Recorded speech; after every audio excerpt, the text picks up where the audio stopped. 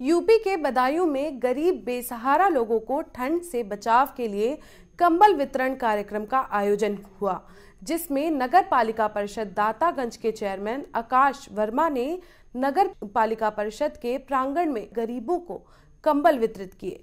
कार्यक्रम का शुभारंभ भारतीय जनता पार्टी के कार्यालय प्रभारी ठाकुर अमित कुमार सिंह ने दीप प्रज्वलित कर किया। इस दौरान चेयरमैन आकाश वर्मा ने कहा कि वह सौभाग्यशाली हैं कि उन्हें जरूरतमंदों को कंबल वितरण करने का सौभाग्य प्राप्त हुआ। गरीबों की सहायता करना सबसे बड़े पुण्य का कार्य है।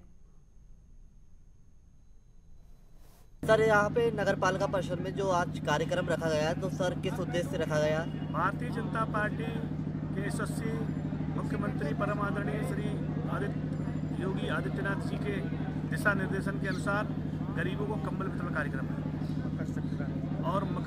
ये आज 14 तारीख मकर संक्रांति के शुभ अवसर पर जो वास्तविक पात्र लोग हैं उनको बुलाया गया है और उनको वितरण कार्यक्रम रखा गया है। तो सर आप यहाँ पे नगरवासियों को क्या संदेश देना चाहेंगे? मैं यही संदेश देना चाहता हूँ कि माननीय प्रधानमंत्री की सोच के अनुसार स्वच्छ भारत मिशन के अनुसार सभी अपने घर का कूड़ा ट्राली में डालें। चूँकि हमारे यहाँ डोर टू डोर कलेक्शन होता है स्वच्छ स्वच्छता के पूरे मानक को ध्यान में रखते हुए हम कार्य करा रहे हैं। प्रत्येक व्यक्ति से आशा करते हैं कि कूड़ा सड़क पर ना डालें, गंदगी ना करें, बीमारियों से बचाएँ और अपने नगर को स्वच्छ साफ़